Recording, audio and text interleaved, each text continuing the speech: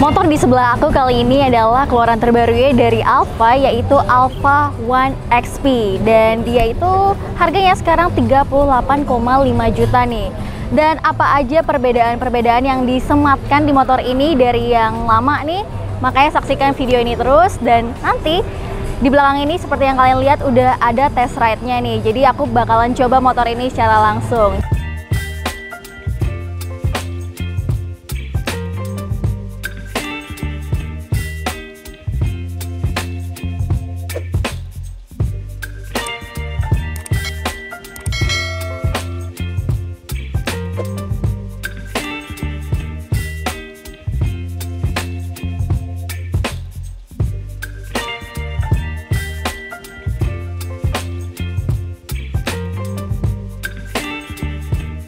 Jadi Alfa One XP ini meluncur ketika kemarin waktu di IMS 2024 nih. Dan apa aja perubahan-perubahan yang ada di motor baru ini? Yang pertama itu adalah nih terlihat kan dari bodinya sekarang tuh udah ada stiker-stiker yang sebelumnya belum ada di Alfa One yang biasa. Desainnya ya sama aja dengan Alfa One yang kemarin ya Cuman bedanya dia dipertambah dengan stiker-stiker dan yang sekarang ini warnanya sudah dual tone. Kalau yang sebelumnya kan itu monoton ya. Dan warnanya ada banyak, ada lima, ada putih merah, merah putih, biru tua putih, terus biru muda putih dan yang hitam biru. Dan untuk mesinnya dia masih sama dengan yang Alpha One. Dia range-nya 70 km dan kecepatan maksimumnya itu 90 kpj dan untuk torsinya dia 46,4 Newton meter dan untuk tenaganya 6,4 horsepower. Kemudian untuk baterainya dia 2,7 kWh. Kalau kalian beli motor ini ya itu dengan harga 38,5 juta udah mendapatkan satu baterai dan kalau kalian mau nambah satu baterai lagi itu kalian bisa beli dengan harga 16,5 juta rupiah. Jadi range-nya itu bisa jadi ya dua kali lipatnya ya 140 km. Terus di Alpha One XP ini dia ada pembaruan juga di bagian dinamonya. Nah apa pembaruannya? Jadi kan kalau di Indonesia ini banyak orang-orang yang suka males ya kalau misalkan motor mereka itu terkena genangan air. Walaupun sebenarnya bisa sih terkena genangan air e, 15 cm.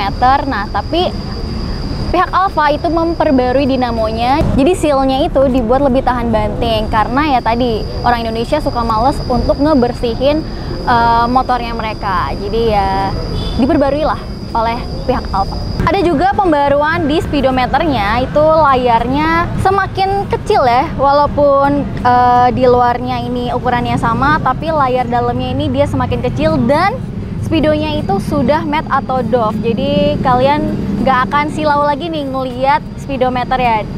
Juga tentunya semakin dibuat simple tapi juga lengkap ada range, ada trip, kemudian ada baterainya bahkan di sini. Dan mode berkendaranya itu ada tiga, Eco, Normal, dan Sport. Dan untuk rasa berkendara motor ini ketika aku cobain tadi, di awal dia emang agak narik sedikit ya. ya. Pertama karena dia adalah motor listrik. Cuman ketika aku lamain ngegas agak dalam, itu tarikannya enak banget guys. Dan overall sih motornya nih nggak berat ya untuk cewek karena kalian bisa ngeliat di video kalau aku ngendarain motor ini tuh sama sekali nggak kelihatan keberatan nih. Berarti ya cocok lah untuk dibawa cewek-cewek.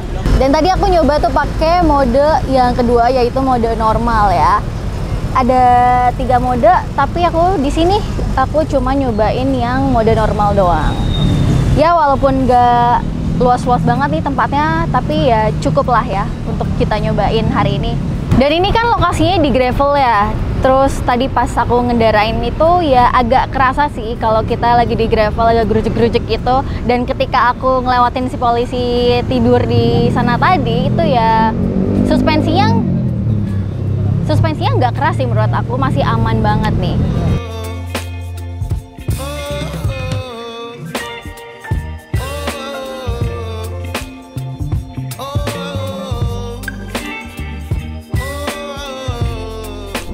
Jadi overall si Alfa One XP ini rasa berkendaranya lebih santai lah dibanding Alfa Servo. Kalau Alfa Servo kan lebih sporty ya, ya ini lebih nyantai aja.